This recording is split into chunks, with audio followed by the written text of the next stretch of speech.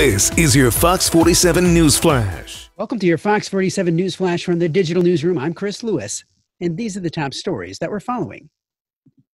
Friday's decision by the MHSAA to postpone football to the spring is not sitting well for many parents, coaches, and players. The Facebook group called Let Michigan High School Football Play has more than 10,000 members, all with a simple message let them play. Jamie McElveny is a mother to a Milan football player and started the group after Friday's news. I knew that we all needed an area to get our thoughts together as to how we're going to move forward, if we're going to fight this, McElveny said. The Facebook group has given parents like Jody Obandi, the mother of a Unity Christian senior, Malachi Obandi, a place for her to voice her concerns over the decision. Several parents, including myself, are concerned for our boys, Obandi said. We're concerned for their well being and their futures. And the group is more than just football families, as it includes several cheerleaders, band members, and their families. There are thousands of other parents who are going through the exact same thing, said Karina Crosby of Sturgis.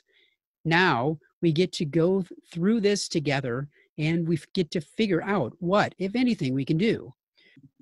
Without the guarantee a season can be held even in the spring, the group is making sure their voices are heard.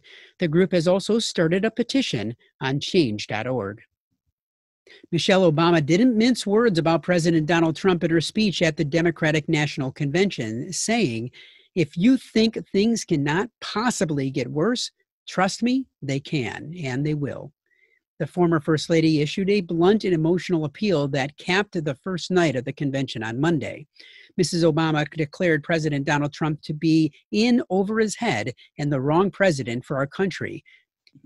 She said, whenever we look to this White House for some leadership or some cons- consolation or any semblance or of steadiness, what we get instead is chaos, division, and a total and utter lack of empathy. Governor Gretchen Whitmer said that she was thrilled when Joe Biden chose Kamala Harris as his running mate, and her decision to be vetted for the job, despite earlier reservations, will benefit Michigan if he is elected president. It means that I get to keep my dream job here in Michigan and be near three generations of my family in the state that I've always called home.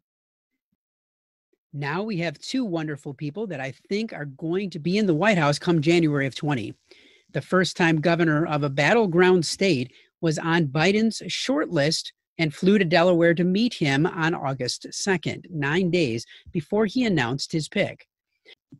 As Whitmer said, he asked me, and so, of course, I thought that the appropriate answer was yes. What a true, true honor, said the Democratic governor, who Republicans have accused of auditioning to join the ticket by appearing on national TV shows and not being 100% focused on her job.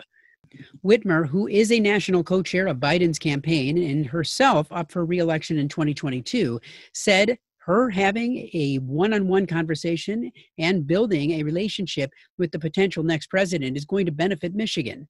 She said, and for that reason, I'm grateful that I was asked to go through the process the coronavirus has changed all of our lives, and many people don't know where to turn for help. That's why Fox 47 News, WSYM TV created Rebound Mid Michigan. Everything you need to get back on track in one convenient place. From dealing with stress to unemployment to helping put food on your table, plus ways you can lend a hand in your own community. Rebound Mid Michigan. Everything you need to get you through these difficult times. We may have fallen, but we will rebound together. Visit fox47news.com forward slash rebound to learn more. Learn more about all of these and all Mid Michigan's breaking news on fox47news.com.